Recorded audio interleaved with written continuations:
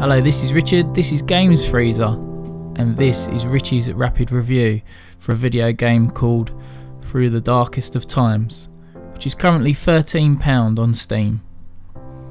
So the back of the box quote for this one would probably have to read The darkest time in human history. So what type of game have we got here? Well, going into this game I didn't truly know what to expect, but what I experienced will stay with me forever. You play the role of a resistance leader who is trying to organise the disruption of the Hitler regime in 1933 Berlin and beyond. Your game will see you through the major events from 1933 onwards into World War II.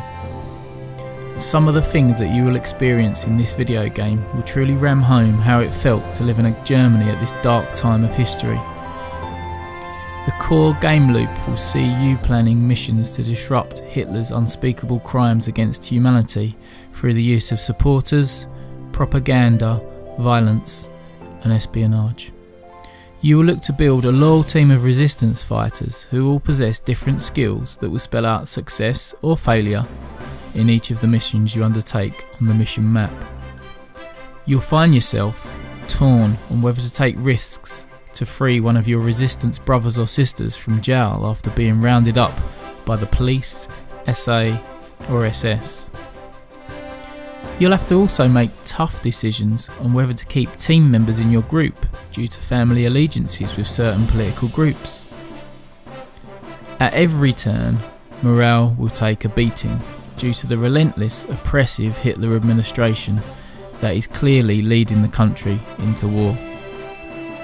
The game is an intriguing and eye-opening video game that deals with this piece of history in a way that doesn't try and dumb down what atrocities occurred during this terrible time in history.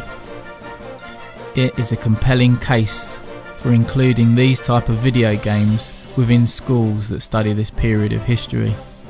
This game needs to be played by any person who has ever wondered what does it feel like to live in a country where your friends and family are persecuted on a daily basis. The look and feel of the game seems to capture perfectly the utter despair of the situation, whilst offering up some brief optimism of a better future.